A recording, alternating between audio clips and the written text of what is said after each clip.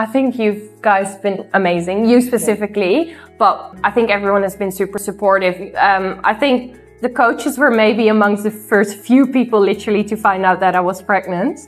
I did a pregnancy test and then I literally went to the gym. I had to process and then I only came back and I told my uh, husband that morning. So I needed an hour by myself on the rower and whatever to process the information. And then I think that same week I told you and you've been super supportive from the start because I was quite clear. I was like, Alexia, I'm pregnant, but I want to continue exercising. And you were like, yeah, that's totally fine. We can do that.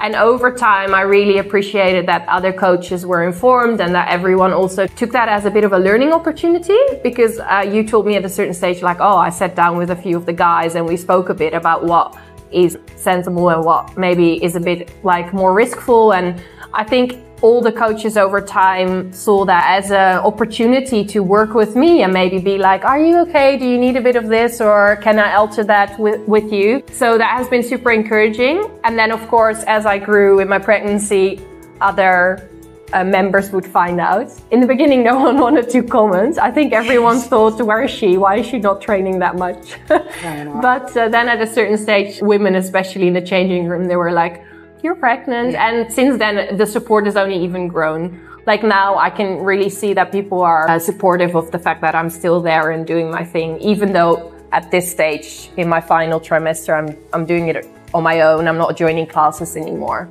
But in the beginning, I was still doing both strength classes yeah. and endurance classes. Yeah. I dropped the CrossFit classes pretty quickly but yeah, everyone has been super supportive. And I think it's important because if you are unsure as a woman about what you can and cannot do, which has to be adjusted in pregnancy, it's really important to have a coach by your side who can um, explore that with you within what is feasible for you and your specific body because everyone is different. Every woman, every baby, yeah. every pregnancy, but also uh, you might feel better the one day than the other day. So you need to tailor it for the person. Yeah. But also you need to look into the the sports science and the coaching, and I think uh, you guys have all been super supportive.